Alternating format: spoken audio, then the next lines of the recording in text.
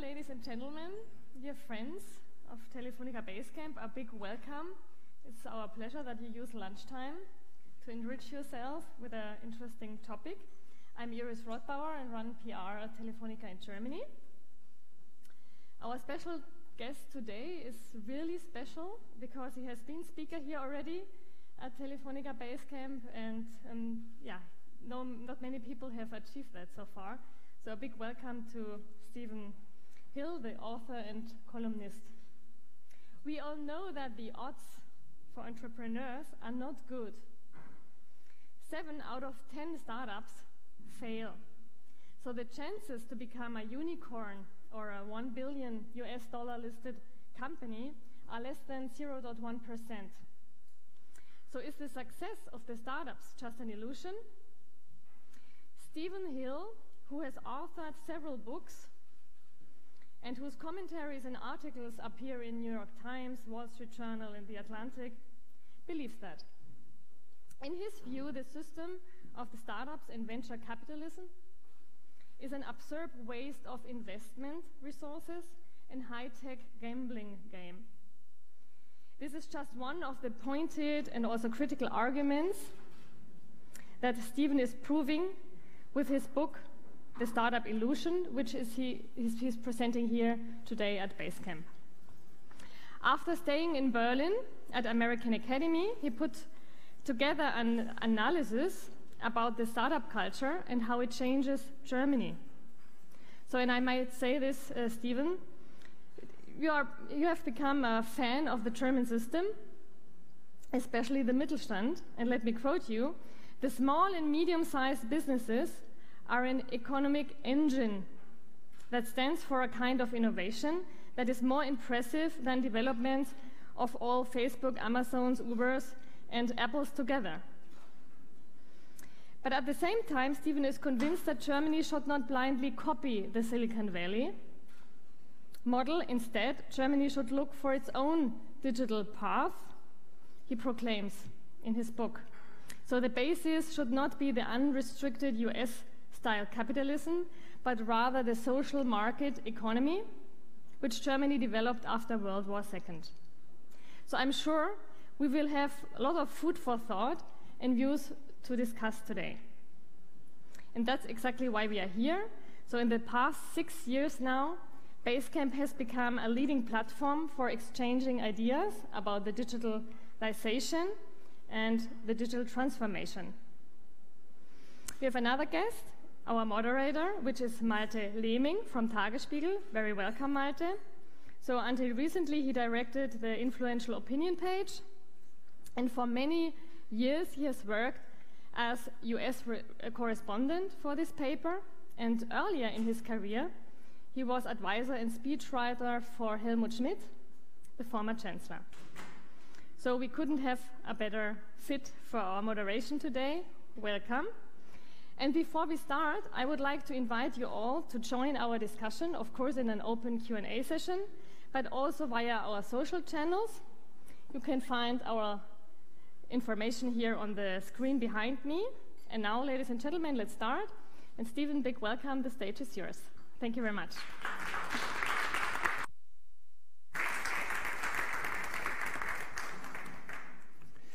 Um, thank you, Iris. Can you hear me okay? Are we working? We're live. Great. Um, thank you, Iris and uh, Agnes and Telefónica Basecamp. Uh, it's, it's a thrill for me to be back here again.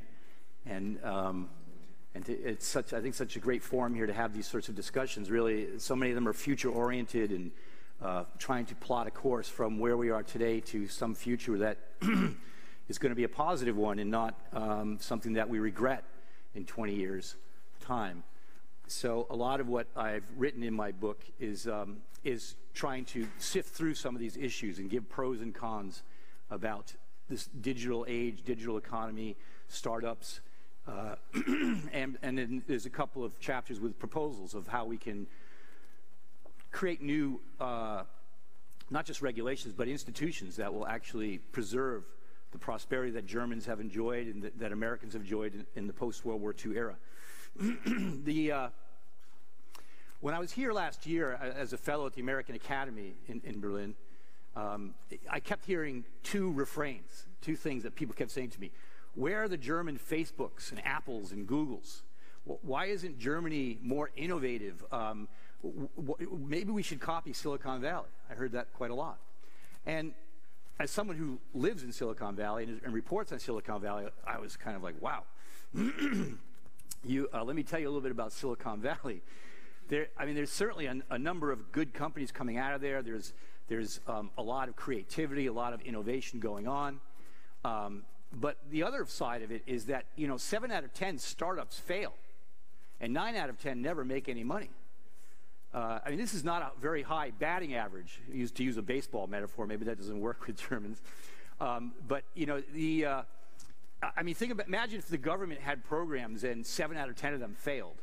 You would call for a new government. And yet, in Silicon Valley, this is just how things work. There's so much money being thrown at so many ideas. Many of them just aren't good ideas. Uh, one of my favorite recent ones is, is, is a new company has attracted a fair amount of venture capital funding, and they're going to revolutionize how we make pizza. As if that needs, as if we need to revolutionize how we make pizza. And what they're going to do is they're going to have robots, of course, making all the pizza. But here's the really brilliant part: they're going to have vans with ovens in them.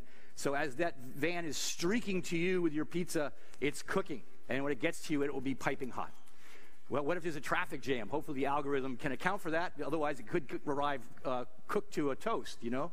Um, but, you know, and when you look at why so many of these startups fail, it's because they get going because they attract a lot of venture capital funding. Basically, these companies are all subsidized. They're not making a profit. Uber today, you know, it's, it's the biggest startup in history. It's worth 68 billion. It's valued at 68 billion uh, euros, basically, and um, it's it lost 3 billion euros last year. It is not making money. And it, I can go into more detail on why that is, uh, but they're basically subsidizing your ride. When you get into an Uber, you're paying only 40% of the cost of that ride. They're trying to drive down the price to get market share and drive the competition out of the business. And when you see a lot of these companies, they're seeking monopolies, which ultimately reduces competition. Um, so, you know, you know, this is this is not a model that Germany either should follow, in my view, or want to follow. Because, as I said, it, it's kind of a high tech casino. There's so much money chasing so many different ideas, so many different, and, uh, and a lot of them once. You know, they're, they're, they're initially they're subsidized, but eventually the funders start saying, okay, it's time to start get to profitability. So, you know, some of these startups they start raising the price, and that's when they discover, you know what, there's not a lot, enough people that really want to buy the product or service you've created at the price point that's going to make you profitable and then they go out of business. And so that's, that's pretty much a story you see again and again and again. Now, you know, some people say this is disruption, this is froth, this is what's good for an economy, this is where you get to creativity. Yeah, you, I suppose to some degree. But it's also true that, you know, you're spending a lot of money to find that one out of 10 that survives and makes and earns profitability. I mean, Facebook, Amazon, you know, they've only recently become profitable, but they have a lot of market share. So, um, you know, here in Germany, the figures I've seen, there was about 6,000 startups in Germany. And in talking to people, they say, yeah, our batting average probably isn't any better than Silicon Valley. So that means out of those 6,000 startups, about 4,500 of those are going to fail. And about 600 will eventually earn a profit. So, you know, I mean, I sort of hung out in some of the coffee shops where a lot of the startup techies hang out. And, you know, I wanted to, I'm look, I look around, I, I want to say to them, you know, uh, like seven out of 10 of you are going to be out of a job fairly soon because the companies you're working for are all going to fail. And, you know, maybe that's okay. Maybe that is how this sector is supposed to work. But it would be good to be more aware of it. Instead, I just see all this sort of hype and enthusiasm and, you know, it, yeah, seven out of 10 will fail, but it won't be my company, right? Um, it's like, you know, they asked Americans, um, uh, 80% of Americans think they're above average. So, um, so what should we do about this? Uh, what I proposed is that there's this other uh, uh, economic sector in Germany called the Mittelstand. The Mittelstand, uh, to me, is just miraculous. The, all these small and medium enterprise companies, um, they are, the Mittelstand creates 60% of the jobs in Germany. 56% of economic output in Germany comes from the Mittelstand. They're, some of these companies are huge exporters. They're responsible, largely responsible for Germany's uh, very strong trade surplus. And, uh, and yet these companies are grappling with how are we going to digitize? How are we going to enter into the digital age? Seems to me there's um, uh, you know, a, a, a, a, simpatico there that they, if we create a hybrid of, you know, sort of the digital startup model and the, the um, uh, Mittelstand model, that this kind of hybrid could be truly unique. And there's already some companies doing this. There's uh, one company in Germany, ironically, the name of it is Trumpf. um, and uh, and what they're doing is they're, they're, they're, part of the new digital economy has to do with the cloud and um, big data and Internet of Things. Maybe some of you have heard some of these, these terms. And so they're, uh, they have this uh, product where they can put all these sensors into your plant and allows all your machines to talk to each other and you know they can communicate when um, if something's too hot or if you need more of some input for that machine.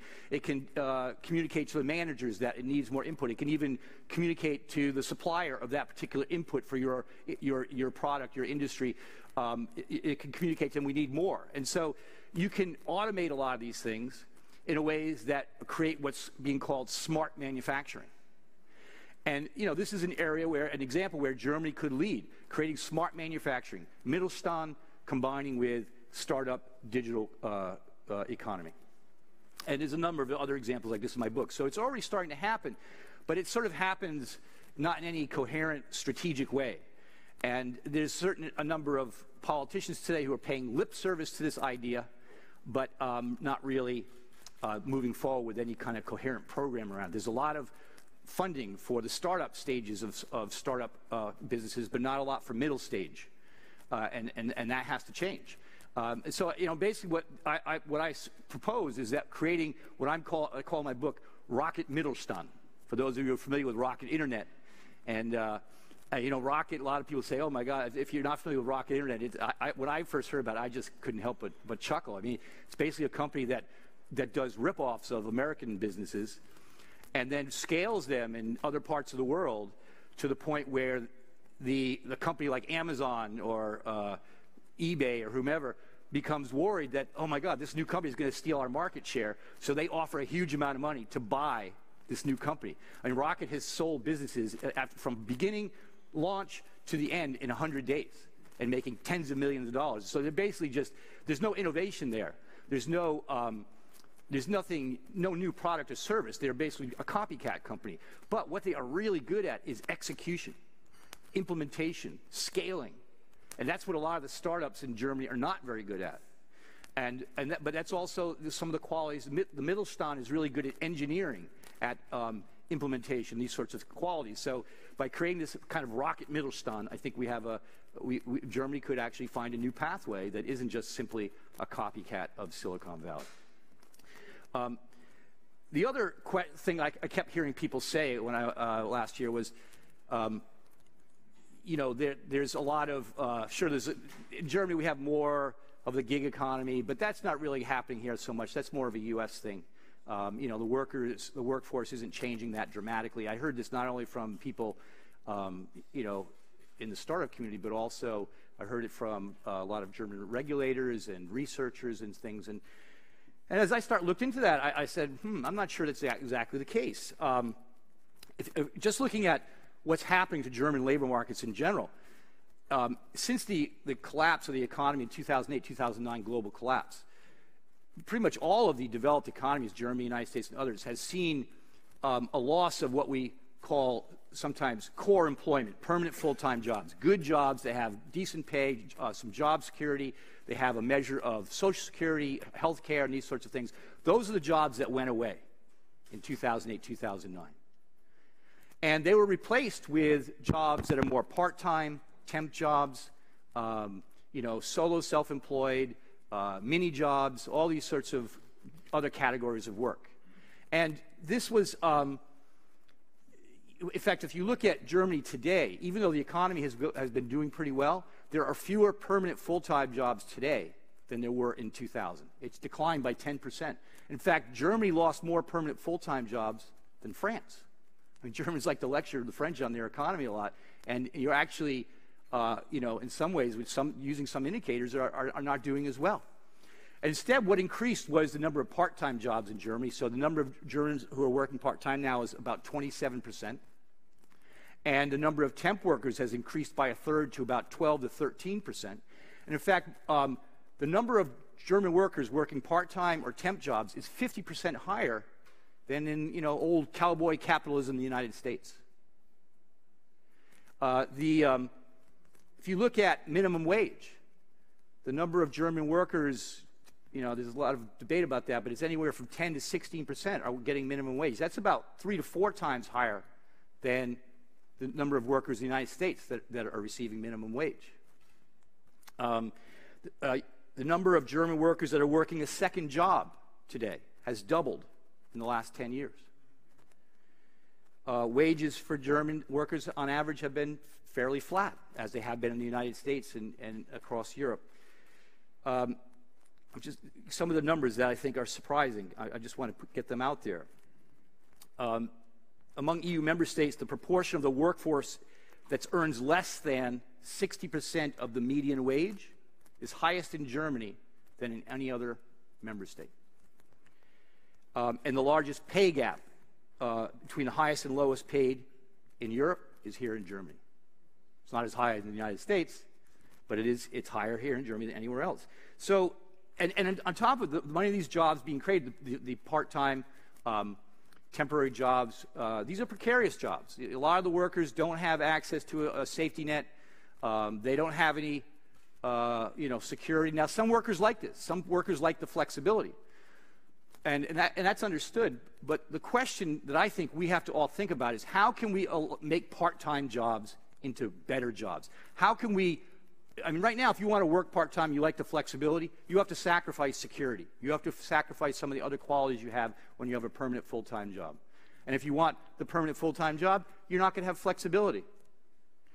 So I think the question is how can we have both flexibility and security? That should be the task, the goal that Germany could take the lead on. Um, and the and, I, will talk a little bit about how I think we actually can do that. But the other component of this um, is that in talking to German regulators and to um, the researchers, I found that in all likelihood, they are not counting these types of workers accurately. And that's why they're saying, oh, there's really not a problem here in the United States like we have uh, here in Germany, like we, you have in the United States, because they're using a methodology to count. And I, this is kind of down in the weeds stuff, and, and I'm just going to go over it briefly because I just want you, I think it's important to be aware that there is a certain methodology of how they count how you work. And what if that methodology is defective? What if it's inaccurate? And it's not capturing what's really going on in the German labor force. You know, that's, those numbers are what we use to design policy. So what they do in Germany, like in the United States, and we don't count these things accurately either, but we're at least trying to rectify that, um, is they use what's called a household survey. 1% of Germans every month are surveyed by uh, German officials, called up on the phone, sometimes it's in, in, in person, and they ask them, tell me about how you're working. And they've been doing this for decades, the same methodology for decades. And so they'll ask them about, you know, you know, the person will tell them about the first job, and they write all that down. And they'll and they say, "Are you working a second job?" And the person may or may not say yes. If they say yes, they don't ask any further. They just note it down. They're working a second job. But they don't ask them, "Are you working a third job, or a fourth job, or a fifth job?" And more and more of these workers are working for multiple employers. That's where these part-time and temporary workers are. They're working for multiple employers. And they don't even ask about it because that's not the methodology that's been used for so long. And there is value in using the same methodology year after year because then you can have historical comparisons. But when you reach a point where um, you're not counting accurately, this becomes a problem. Um, and there's also a lot of evidence that uh, some research is being done by people like Larry Katz at Harvard and others that people actually don't self-report accurately. They lie. Who would have thought it? You know, so a lot, a lot of people want to admit they have a second, third, or fourth job. So you have to really ask more in depth and have different ways of asking the same question to get that information. Um, so, and, and, businesses also, it turns out, don't always report uh, accurately on these sorts of things. So I asked a lot of the German uh, researchers, how many German workers are working on Upwork? Upwork is this company based in Silicon Valley. It has about 250 regular employed workers, and those 250 workers use technology to oversee 10 million freelancers all over the world. Um, you know, on that platform, you can see workers that are doing things like graphic design, uh, computer programming, software design, uh, translation, there's architects, there's lawyers, there's a huge number of occupations, industries on this platform. And you can go on there and hire one of these freelancers from anywhere in the world. So you see a German worker saying, oh, I'd like to make 60 euros an hour for this job. An American worker saying, I'll take $70 an hour. And then there's workers from Thailand, India, Philippines saying, I'll take 2 euros uh, an hour for the same job. It's an online auction. You know, lowest bid often wins. So, I mean, it used to be, you know, when they wanted to outsource, they had to move a plant somewhere. And that became you know, a barrier to doing that. It's a lot of money to move your plants. They don't need to move plants anymore. They can just go on Upwork and hire a freelancer from anywhere in the world. So you're out, been. Our jobs are being outsourced through an online labor platform. And um, these workers uh, are very skilled in Thailand, India. Um, they have access to technology. They can finish, finish the job, upload it to, um, to the web, or use Dropbox or any other reason, way to deliver the product. And, um, and so there's, in many ways, there's not a reason not to hire them. So I asked, you know, I was asking, how many German workers are on this platform? He said, I don't know. We don't know. We have no idea. Really? We don't know. Have you tried to look? No. We don't look at those. We don't, you know, not, it's not, not happening enough. Why should we do it? So it took me 20 minutes to go on the Upwork platform using their filters to find out there are 18,157 German workers working at that time when I did, it, did the research. There's probably more now. Um, you can now see the, who they are. You see their photo. You can see where they live. You can see what they do. It's easy to track these workers. And here's the thing. If, if so say that these workers are being hired by a company in the United States or hired by a company in Russia or it could be anywhere in the world. And so the, the, the, company that's hiring them is not telling the German authorities, hey, we've hired this worker. This worker made 2,000 euros uh, for us uh, working for us last year. And that worker probably isn't reporting that income either, because why would he? It's all happening under the radar. So just on one platform with these up 18,000 Upwork, Upwork workers, approximately using low uh, kind of conservative numbers for the amount of wages they're likely earning, about 71 million euros in income per year is not being reported. And about 10.4 million euros that, would, that you normally would pay into the healthcare fund is not being reported, not being collected. That's just one platform. How many, uh, you know, there's, there's, dozens of these platforms now. And the, um, the only groups that are really trying to count these workers are labor unions, Verdi, IG Metall. They're trying to count these workers, and they've worked with academics and different institutions to try. And they, they've come up with an estimate anywhere from 1 million to 2 million German workers are working through these platforms now. And just again, using conservative numbers, that would suggest about 4 billion euros in lost income that is not that is going untaxed, and about 600 million euros that is not being paid into the healthcare fund. This is serious money. If more and more workers start working this way, you will completely drain your welfare system. You know, that, those taxes are used to pay for education, for transportation, uh, you know, all the good public services that you have here in Germany, healthcare, all sorts of things. And so, and yet, these re- regulators and the researchers are like, we don't know. And the fact that I can find out in 20 minutes what was on Upwork just tells you, like, it's not hard to figure it out. They just aren't bothering to do it. And that should be troubling, I think, to, uh, to people. And in fact, the McKinsey Global Institute, which is a rather uh, you know, well-known business consultancy, they've done a study in which they used government sources and then they supplemented that with their own surveys and using surveys from other researchers and came up with a more comprehensive methodology, in my view. And what they found that the number of what they called independent workers, which are workers that are outside the traditional employer-employee relationship, the number of independent workers in Germany is 90% higher than what German official sources uh, say. That's, in terms of you know, your welfare state going forward, that's a big number that, that could uh, impact things dramatically. So, um, what to do? Very briefly, what I proposed is um, uh, I mean, there's many things I proposed, but the one I'm going to talk about just briefly is what's called a portable safety net. Because as I said, we've got to figure out a way to make these part-time jobs good jobs and allow workers who like the flexibility to keep that, but not sacrifice security. So here's how a portable safety net would work. Every worker who works for a business um, that worker would have created for her or him a, a, what I call an individual security account. And every business that hires that worker would, have, would pay into that, that uh, individual security account a certain amount above the wage that would be prorated to the number of hours that you work for that business. So let's say you work 10 hours a week for a business, then that business would pay about 25% of a 40-hour work week what you normally get for your, your, your, uh, well, your Social Security needs. If another employer hired that worker for five hours, that would be prorated to, uh, you know, like one-eighth, five of, into 40. So um, by doing this, you'd allow workers to work for multiple employers, have that flexibility, go from job to job if they either like that lifestyle or they just can't find something more permanent. And they would still be able to collect from each business something that goes into their Social Security to pay for their health care, their retirement, their injured worker compensation. I mean, a lot of these freelancers don't even have injured worker in Germany, United States. I mean, you get injured on the job, you're on your own. So you'd have something there.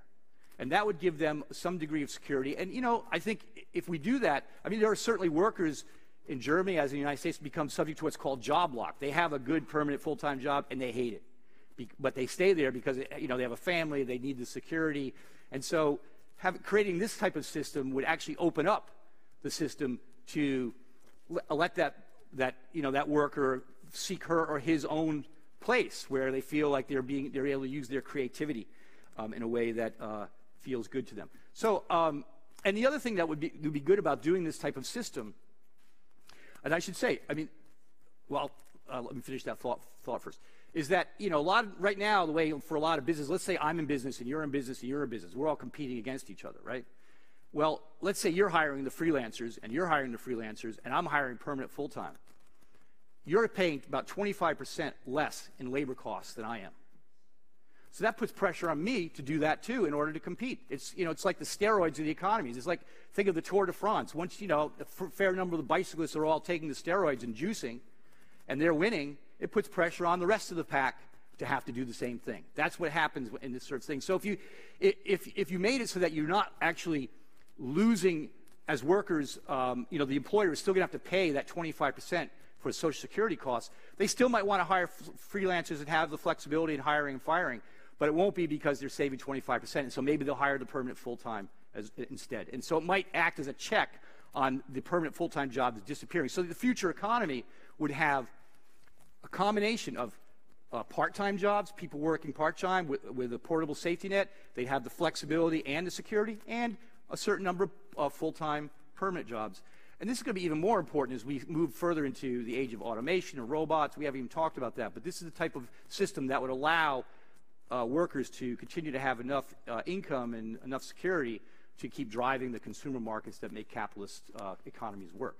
Um, Anyway, so uh, why don't I just end it there? I've already gone longer than I was supposed to. My apologies, but we're going to have a great conversation. Thank you.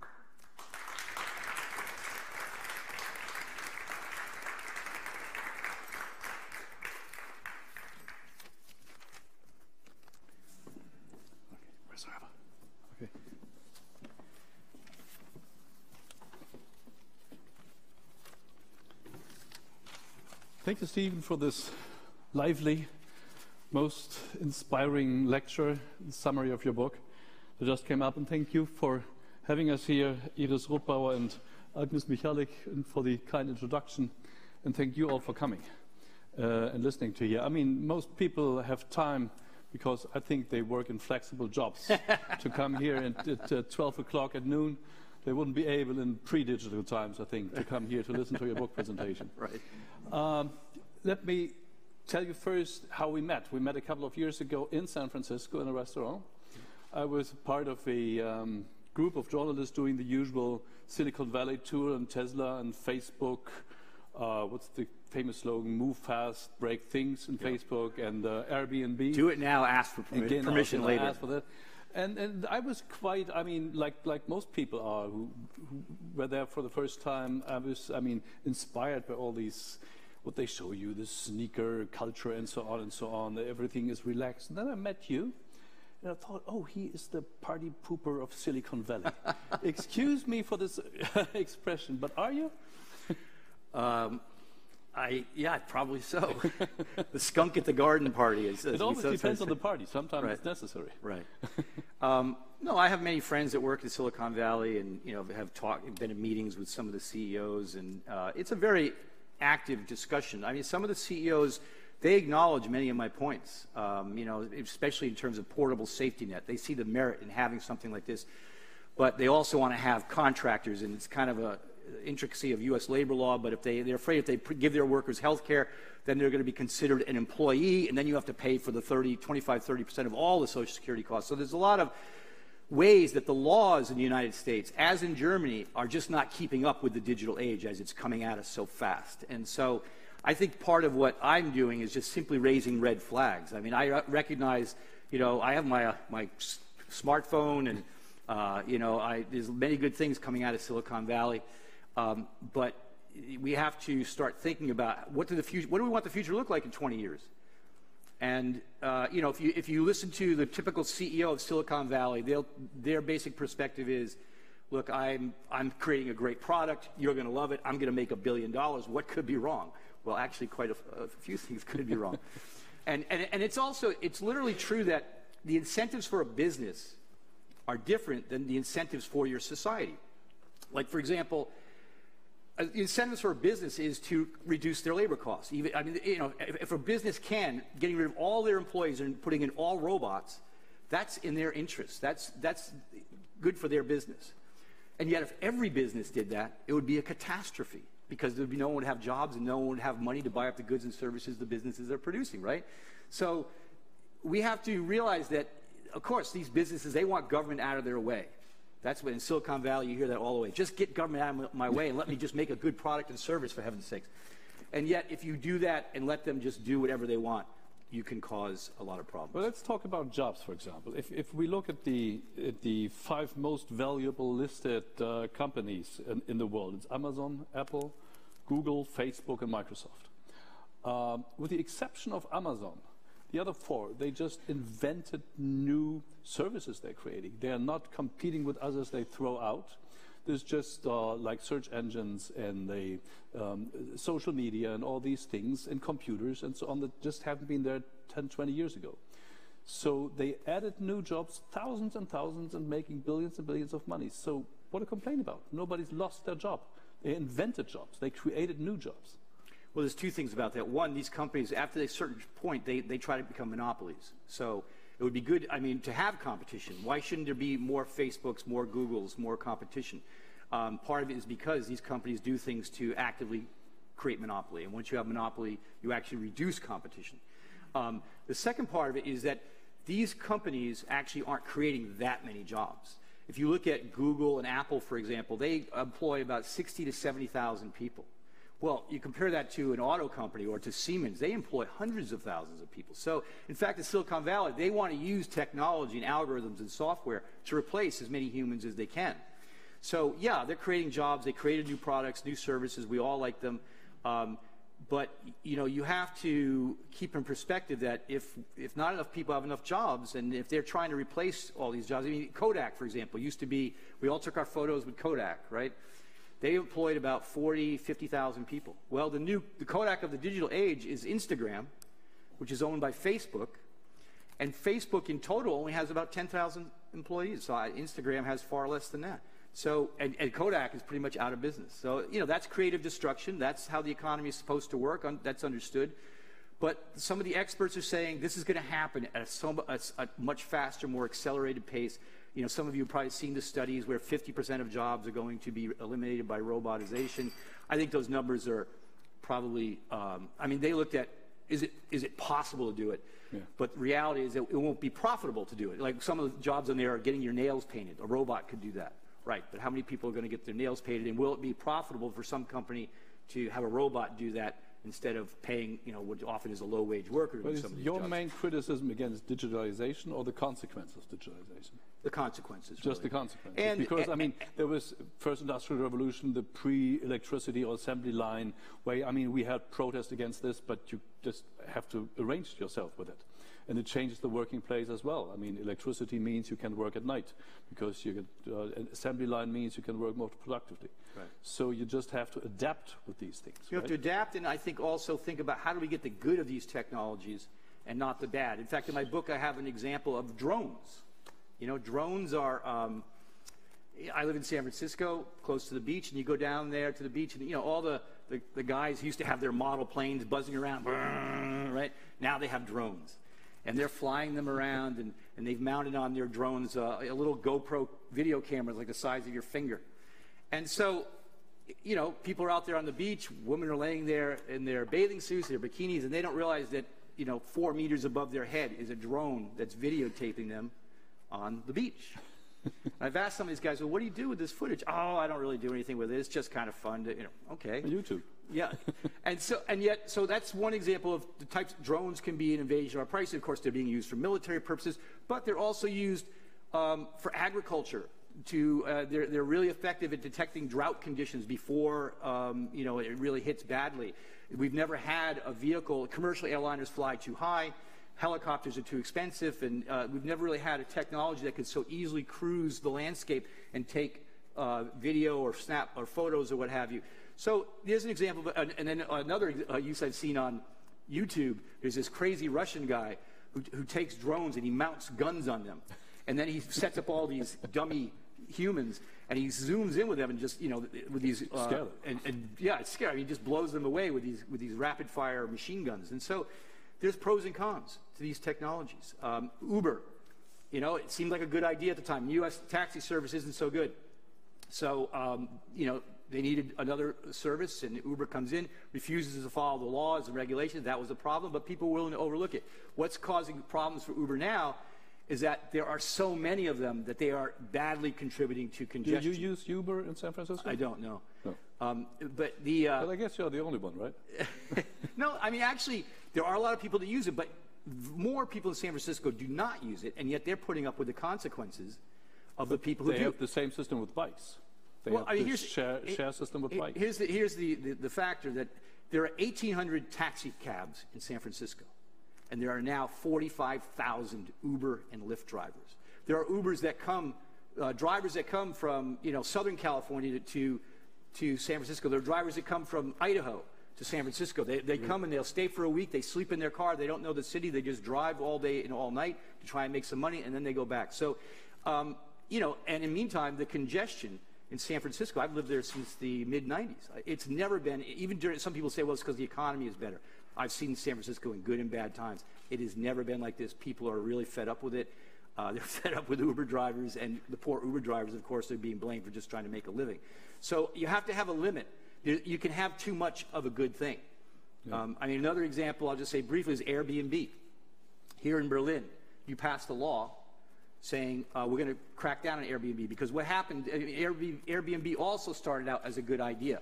The idea of letting someone rent out a spare room in their home, make some extra money, especially in a down economy. What could be wrong with that? Well, what happened was the professional real estate operatives got involved. And they got in and they are evicting people out of their building because they can double and triple their revenue by renting on Airbnb to tourists instead of to regular people. There goes your housing stock. There goes your rents. As, your, the number of housing available to locals declines, your rents go up. This is what's happening in city after city after city. Well, um, Airbnb, uh, Berlin passed this law that basically said they were trying to return it to its original mission. Uh, they say you can't rent out whole apartments or flats or homes, only a spare room, and you have to be there, and you can only rent out 50% of your flat. That's what It's, the law it's says. called in German the Zweckentfremdungsverbot. Very, ter- very terrible name. Yeah. Well, so, you know, this is the law. Airbnb knows the law. They have their data. They know who's breaking the law. They could easily kick people off their platform who's breaking the law. I just got the numbers just yesterday from, uh, there's a website called Inside Airbnb. What they can do is they can, what's called scrape the Airbnb website and take all their data and they can analyze it. The number of listings in, on Airbnb since this law went into effect a year ago has gone up by 54% and the number of whole homes that are being rented has gone up by 46%. But Steve, so the law has completely failed because you need the data from Airbnb to. Allow to me to, but, but. I think we have to be precise about what is the, the consequence of digitalization and of criminal behavior. I mean, for example, the, the platform Upwork, you said, I mean, if people work here, get the job, they are obliged to pay taxes. If they don't, they are criminals who can be followed.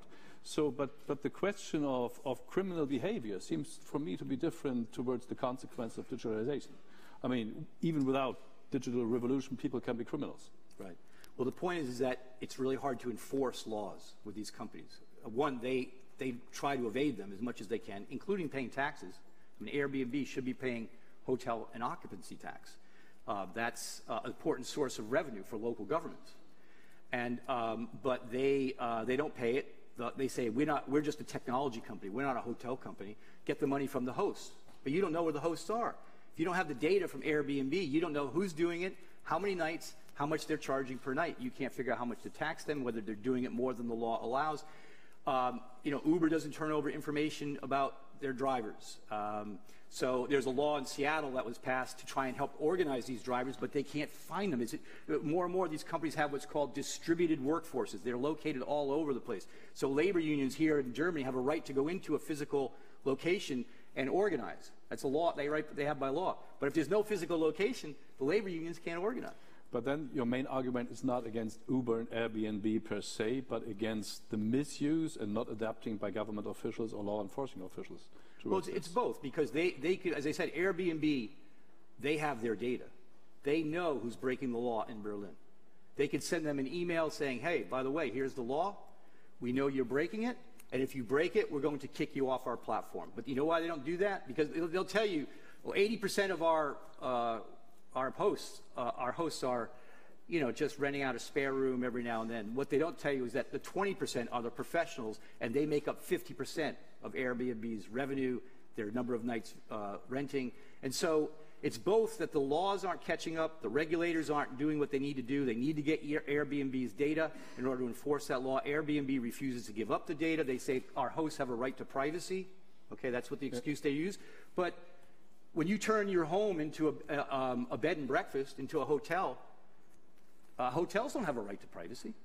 I mean, when you do that, when you, be, a, when you become a commercial operation, whether it's your car or your home or whatever, at that point you, you have to sacrifice some of your privacy, in my view. What is, what is a digitalized working environment? I mean, there are so many it, it, digital techniques are used in, in almost every branch, in car, car manufacturing, uh, in, in, governments are using it, maybe not in Berlin, but in every other town.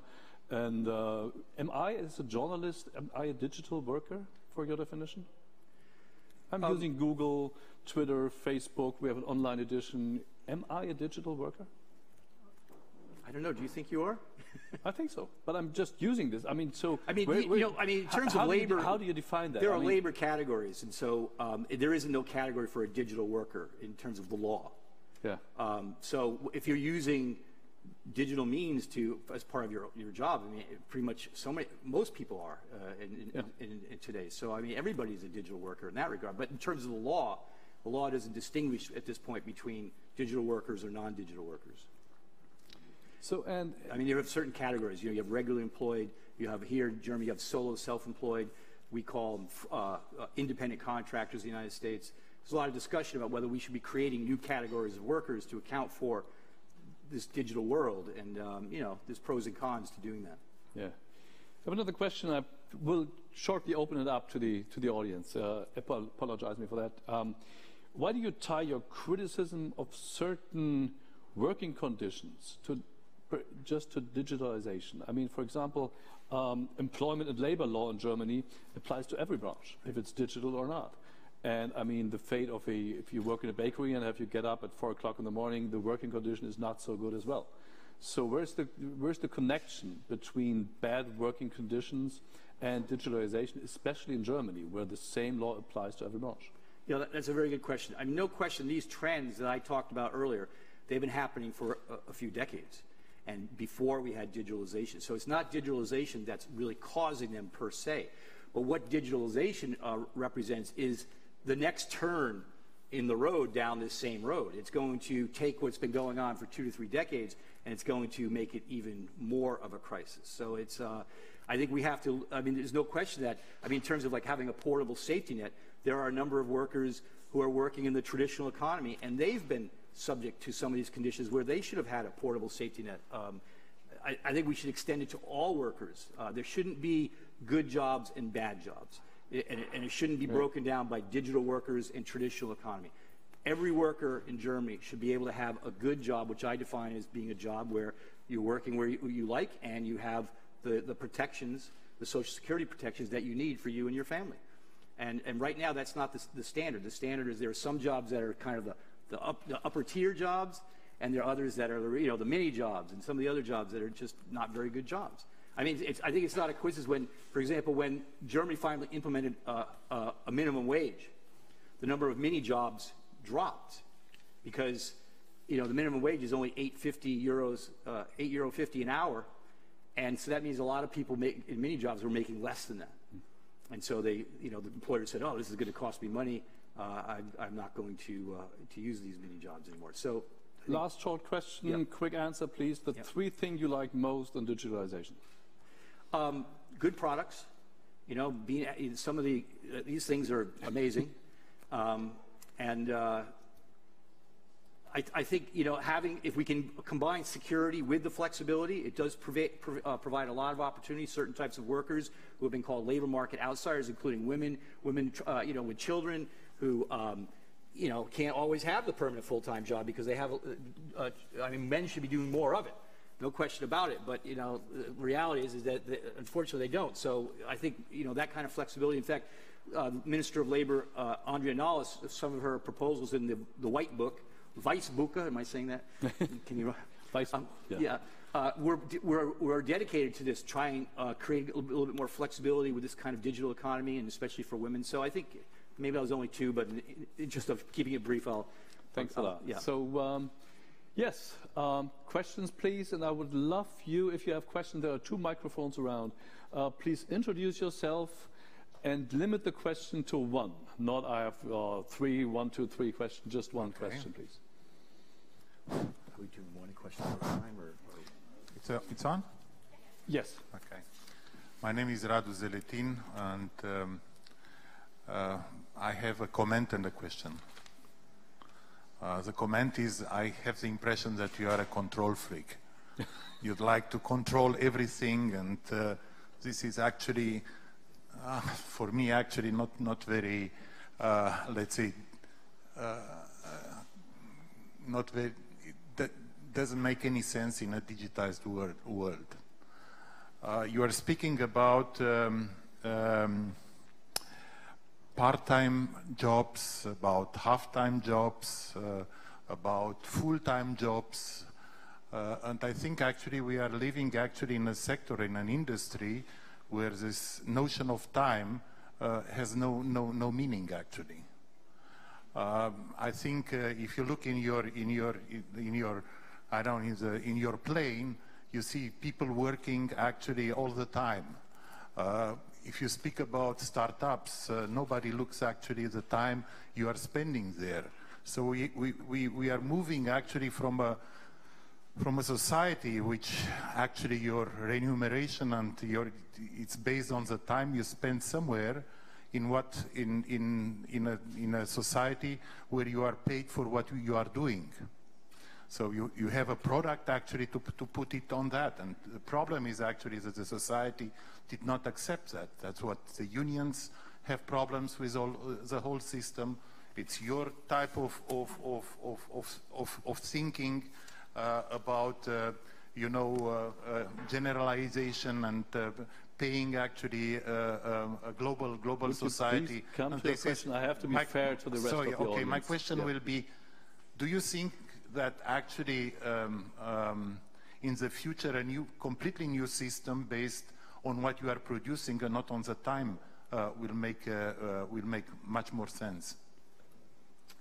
Um, you know, I, there's a number of writers and thinkers, Jeremy Rifkin and others, that are proposing that someday we're all going to be our own, what he calls prosumers, both consumers and producers. We'll all have our 3D printers and we'll all be able to produce our own a lot of our products, and, and um, you know that people will be able to make their own future, and uh, it, it's a lovely uh, dream. Um, and you know, so, some of that, some people combine that with a guaranteed basic income or universal basic income.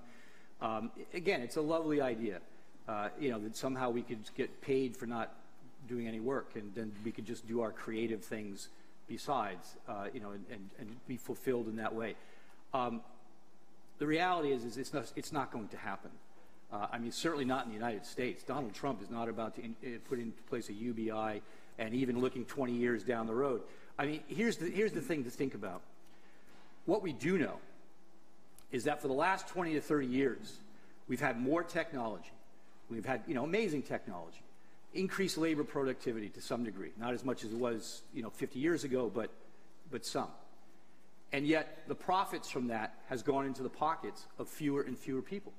The wages have remained flat in Germany, in the United States, and elsewhere. So in other words, the political system was not able to get a wage increase from the economic system. Okay? So to think that the political system will be able to get the economic system to actually just give us money is just far-fetched. It's, it's not rooted in the real world, in my view. It's, and it's actually a distraction from what the real hard work we need to do to make these technologies work for people instead of being the, the profits being funneled into fewer and fewer profits uh, uh, pockets as a result of them. So, uh, I mean, I hope I, I'd love to be proven wrong on this, but I mean, no one knows. Everyone's got their crystal balls out to figure this kind of thing out.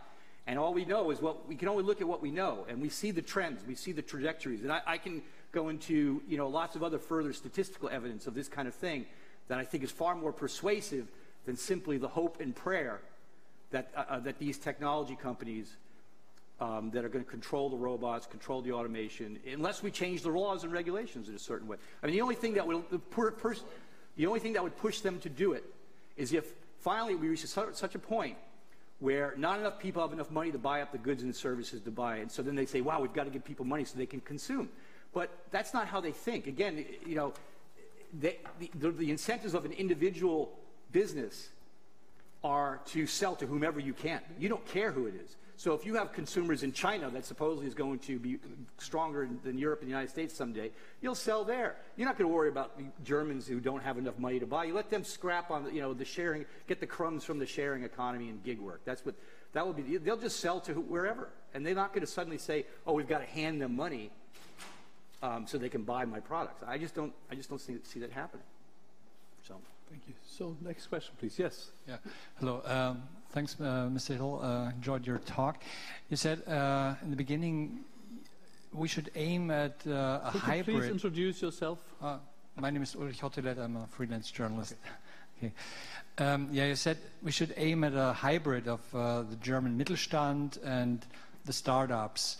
Um, could you please elaborate on that a little bit? I mean, do you mean just using more digital machines uh, in the future uh, by the German Mittelstand, or yeah, what, what, what do you Thanks. think? It's a good question. I mean, the, the first thing is, in talking to a lot of people, that like how many of the the Berlin hipsters go out to where the auto companies are and go out into the middle of the country and visit these companies and get to know them. You know, it's a very different culture. The culture of the startup community is fast-paced. It's um, you know everything happens now. Uh, we spend money now, we ramp up now, and we, if we break laws, we apologize later. Um, it, the, uh, you know, the, the, culture in the Mittelstand is, is family-oriented. It's slowly plotted, you know, uh, uh, precision engineering. So these are two cultures. They need to meet each other first, and it sounds like it's not happening that, to, to a great extent here. And out of that synergy, I think other ideas will come. Um, you know, I mean, Deutsche Bahn, for example, is using some digital startups to help improve some of their products to make service better. There's so many good companies here in Germany that need to have access to, you know, the young entrepreneur who's really savvy on computers and digital programming and all these sorts of things. And um, so, I, I, mean, I can't give you, a, you know, the exact concrete thing, except like, let's bring people together for starters. Let's create that bridge between these two sectors and then see what kind of synergy comes out of that. And you know, someone needs to organize it. The, the politicians aren't doing it. Neither, no, no, NGOs, no, uh, you know, maybe this is something that for some of the Stiftungen here to do, to organize conferences where they consciously bring these people together. At Republica, uh, I was there two days ago, it was an amazing conference, but there weren't any Mittelstand there, you know? And the Mittelstand have their conferences, and there aren't necessarily any digital workers from Berlin, Hamburg, or Munich there. I, I'm sorry. Have you looked at the program Industry 4.0? Yes, Industry 4.0, Arbeit 4.0. There's many 4.0s in Germany. There's even a Mittelstand 4.0. um, so, you know, the, the, those are all good things. Uh, but in talking to people, it sounds like the bridge hasn't been made yet, and I think that that's a good place to start. I think Here. Here, uh, excuse me. Okay, you have the mic, so you have to wait a little longer. Maybe we, maybe we should, we should collect three questions and have your last words, because it's half past one right now. We have- still have food and, okay, What time do we finish? uh, let's say in 10 minutes from now. So three more, three of, who, who else has a question? One, two, three, four. We should collect them all, I would say. Okay, there's some context, but I'll try to be quick. So, hello, my name is Johanna Blees. I'm a student here from Berlin. And last year I was interning a little bit south from San Francisco, actually in Tijuana. And in Tijuana. San Francisco, don't- think of that as a little bit south. I think we could say in the, For, for the people Santa living in Clara or Tijuana, it's not so far. Right, from the other right. side of the border, yes. But, right, right. Um, so, um, That's in Mexico, people, people don't know. yeah, Americans call it Tijuana. So um, the taxi syndicate in Tijuana actually is pretty strong, and I hate to I hate having to bolt the stereotypes there, but it does have organized crime affiliations. And um, there were social tensions, a lot of them because of like price, um, like between Uber and the taxi syndicate. So a few weeks ago, uh, an Uber driver was actually shot. Um, so here we have the social tensions that you mentioned escalating into physical violence. And I just wanted to ask you whether you think that's a unique scenario, or whether, even though I hate having to go all pessimistic about this, but whether you actually think this could happen more often. Thank you. Hier.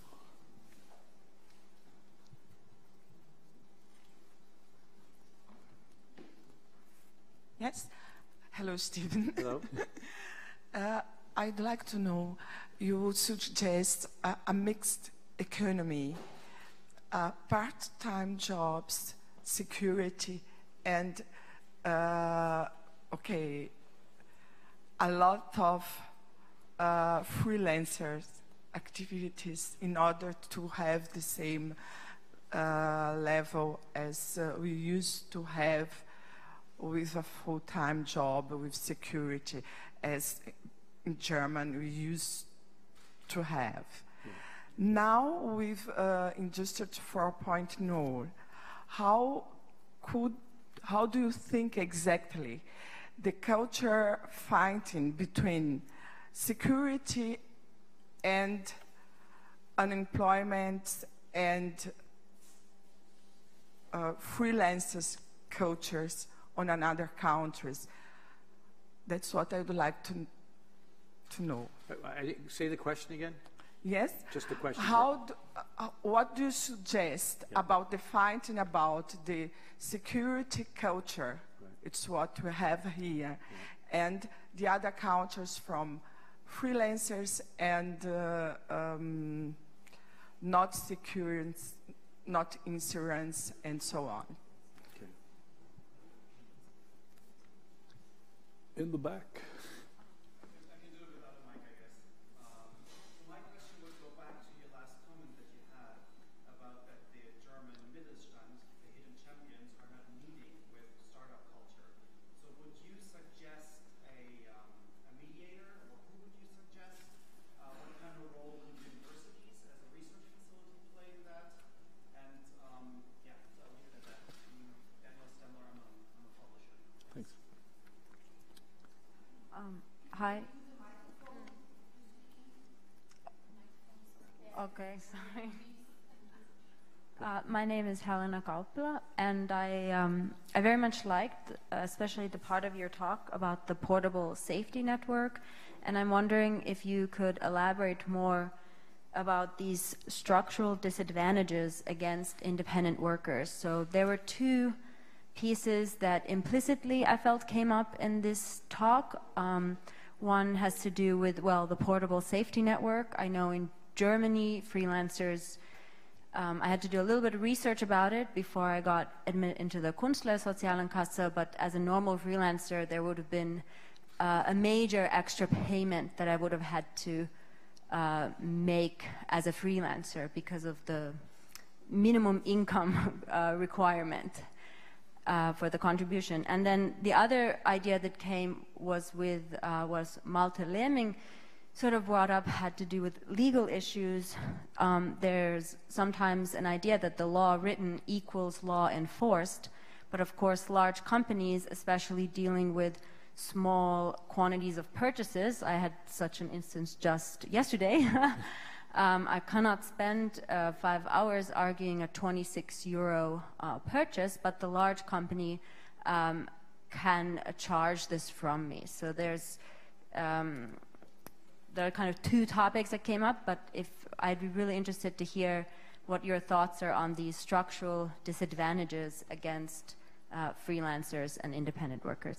Thank you. I think that that's a lot now. If we don't have somehow more urgent questions, I would say I will give you some time for four difficult but very good questions.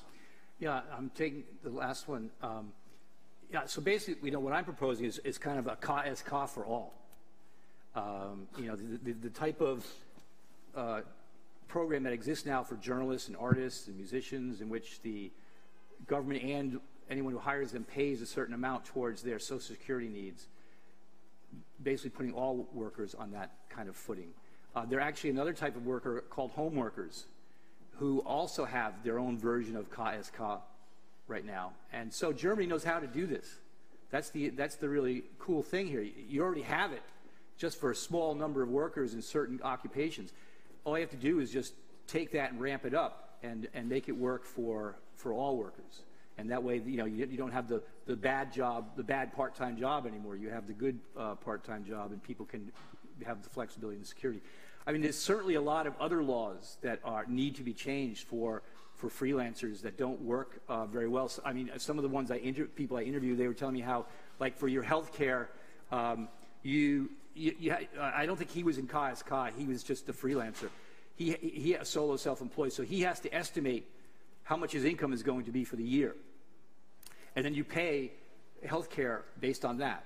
And if you actually have a good year and make more than that, you have to pay something at the end of the year, topping off. But if you have a bad year, they don't cut it back for you. So it doesn't work both ways. And so you're penalized by being a freelancer in this way.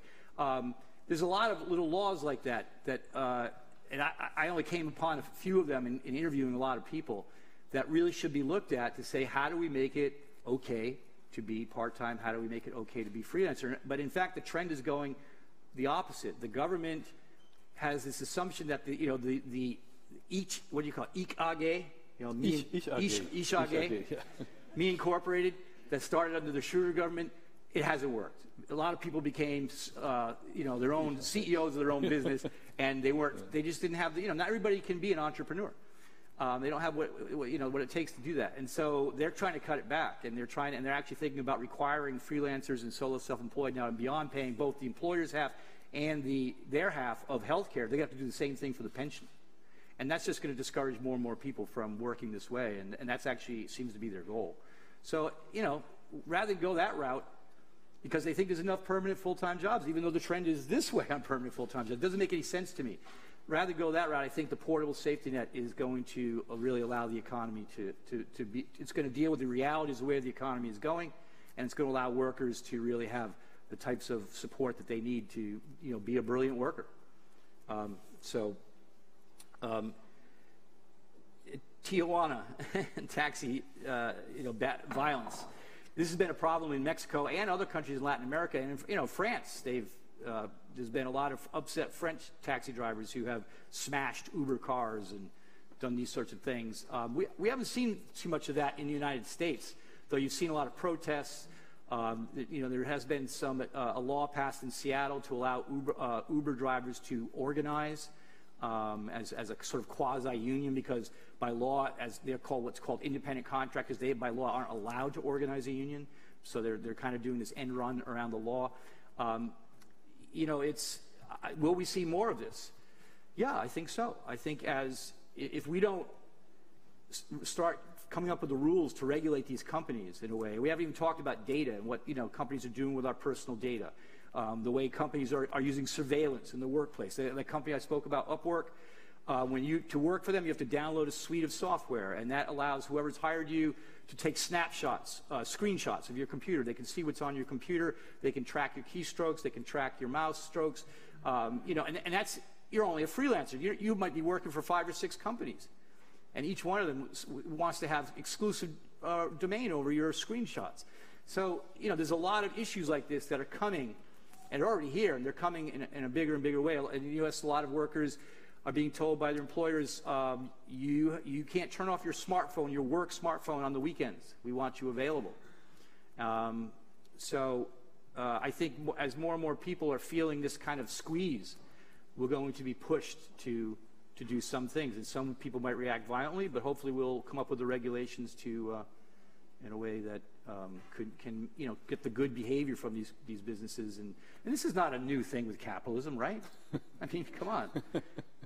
I mean, is it any surprise that you know we have to figure out a way to regulate these companies to get the good that they're producing and to decrease the bad? I mean, this is just kind of normal for uh, a capitalist society.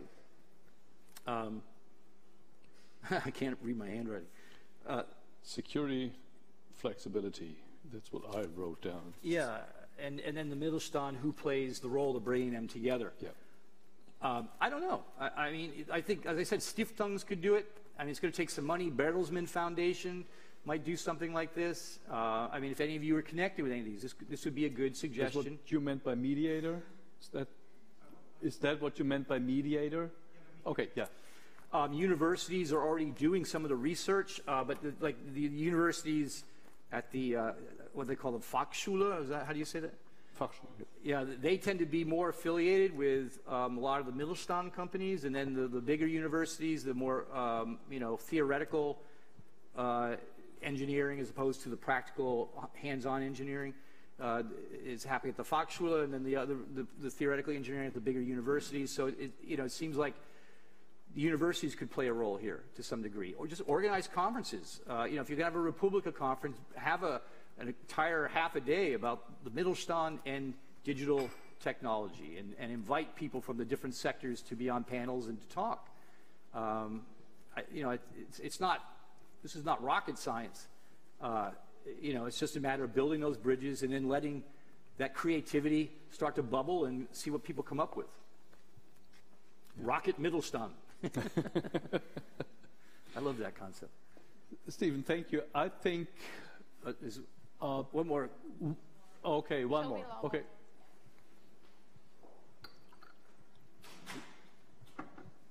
Hi, Steven. I'm Paul from Hamburg, as far as you know.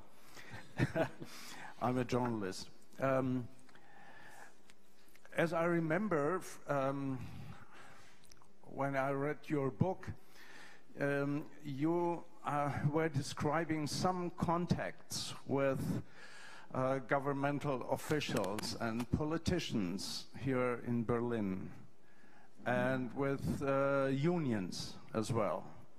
Um, do I have uh, gotten the impression that they are open for your critical approach or not? Some are very open, and in fact, I couldn't have done the research and um, the work that I've done to produce this book without their support. Uh, some have been just amazing, and even when they didn't necessarily agree with me, they, they saw value in, in me probing and poking and asking a lot of questions and making a, a general pest of myself. Um, but others were, were, are resistant. And no, I think we're counting these workers right. I think, you know, you know, yeah, maybe we don't have it exactly right, but, you know, overall, the trends are clear. And um, so, uh, and some are, I mean, I mentioned, you know, Berlin having the, passed an Airbnb law, and um, did I, already, did I, already, I mentioned that to you, but I can't remember. Did I, did I pull the numbers on Airbnb and you know in the past year since the law went into effect? Yeah. You Did, I mention to them? Yeah. So I mean, the, the law is not working. So what do you do? You just keep digging the hole deeper, or do you do you suddenly say, we've got to do something different. And I, again, I mean, I think data, in terms of the future, data is going to emerge as one of the crucial components of our societies. Who controls the data? Is it the commercial companies? Do we control our own data? Does the government have the data it needs to regulate these transactions that are happening in anonymous ways, shadowy ways? Um, you know, if Airbnb won't give up its data and you can't regulate this company and it's just going to, you know, take over your housing stock, what do you do? No one has, has come up with an answer to that. Um, I think one of the things we could do, and this, this, is, this will be a good one to drop at the end because uh, then you can, you can all wonder about how it would work out, is that, you know, we actually have the means that if a company isn't following laws and regulations, you can use various digital technologies to basically shut them out. You know, China has already shown how to do that, the Great Wall of China, right? Great Digital Wall of China. And we, we think like, oh, that's censorship. We would never want to do that. But look, you, we have to, we, have, we make, we know, we understand, we have just have a tune and sense you have to protect your physical borders, right? Well, it, it may, it might reach a point where we have to protect our data borders. That you have companies that refuse to follow the laws, even when you pass new laws. I mean, Airbnb and, and Uber have sat at the table and drafted some of these laws and said, okay, we'll agree to that law, and then they don't even follow the law. In California, they're supposed to, re- they're required by the law that they help draft at the state level to give up certain data about how much they're charging, how many drivers, if, if there's any accidents. And they, they instead paid a $13 million fine rather than give the data. For $13 million fine to them is pocket change. So this is the type of company we're talking about. And if they just absolutely won't follow the laws and regulations and are, are causing harm, it seems to me, you know, every computer has an IP address. Every IP uh, address has an, a geographic location. You could ringtail a country and say, you know, all these IP addresses, uh-uh, you want to have a, a, a connectivity to them, you have to follow our laws and regulations. And if we have indication that you're not, we're going to cut you out. That would be an extreme thing to do. But again, I'll put it to you again. If they won't follow the laws, they know these hosts are breaking the law. They have the data in the case of Airbnb. And, and they, could, they could police themselves. They refuse to do it. What are you going to do? Just let them keep doing it? I mean, that's going to create this sort of pirate mentality that we don't have to follow the laws. We can do what we want. We don't have to pay taxes. That's going to undermine the welfare state. That's where the title, the rather provocative title from my publisher, they said we need a title that's going to grab eyeballs. and uh, but you know, there's a lot of danger there if we don't get this right. I, I, my fear is we're going to look back 20 years from now and say, "Wow, we didn't get this right at the moment when we still had a chance to get it right." and now we don't like the society that we have uh, created. So, but I think we can get it right. I think with the right laws and regulations, let's leave on a positive note. We can get this right. we just have to talk about it. We have to start proposing new laws, get some new things in place, see how they work. When they don't work, adjust them. Um, this is going on. Many places in the U.S. are, are doing this with, uh, and you know, the other thing I'll mention is um, Austin, Texas, as an example. Uh, Austin City Council, it's a, it's a big Uber city, uh, university town. People love uh, ride sharing. But the city council said, you know what? We think that for your background checks, we think you should do fingerprinting. Because fingerprinting is a standard. It's what the FBI says is the best. Um, it's what taxi companies do. We want you to do what taxi companies do. And, and, they, and Uber said, no, we won't do that. And if you, if you pass this law, we're pulling out of the city. They passed the law. So what Uber did was they paid $10 million for an initiative, a voter initiative, where you gather signatures, paying people to get signatures, put it on the ballot, let give the Austin uh, ride-sharing people and uh, the city of, citizens of Austin a chance to repeal this law. And they said again, if you don't vote for our initiative and repeal the city council law, we are pulling out. Citizens of Austin didn't like being threatened like that. they voted down this initiative. And so Uber was like, ooh, I guess we've got to pull out. And so suddenly ride sharing was gone from one of the best cities uh, that Uber had. Oh. Well, you know what happened? four new ride sharing companies have, have, have happened as a result. So that's, I've suggested if Facebook won't do Facebook the way we want, if Google won't do Google the way we want, if they're going to insist on bombarding us with ads, you know, tracking us, stalking us, they're stalking us online. They have our data. They sell that data. They make all their profit from selling our data. If they're not going to do it the way we want, we have to develop the tools to say, you know what, you can't operate here. The Great Wall of of, of Germany, I know walls aren't popular here. Walls aren't popular here. But I mean, I think we have to develop the tools so that we, when we're at the table negotiating with them, we have something to say. You know, we have something that we can argue and tell them, well, if you don't do this, we're, we- we can do that, we can do this. And right now, they just say, oh, pff, good luck. So, that- with that, Thank you, Steven, again. Thank you, was a wonderful, wonderful last word, and I think books for sale. And I think we are, yes, yes, I would just say that we are, you're completely right, we are in the middle of a, of a huge revolution that we all agree upon, and I think uh, societies need rules to organize themselves. And what it, it means in terms of privacy, protection of data, uh, freedom of speech, all these things are, uh, yeah, are being discussed about. I think your book put a tremendous value on, on this discussion. This book is here. The Steve will be with us for a while. You can chat with him. He will sign the book, and it, there are foods and drinks. So And help yourself. 15 euros for a copy. I only have a few copies. So Okay, Steven. Thank you. Thank you again. Well, thank you. That was good.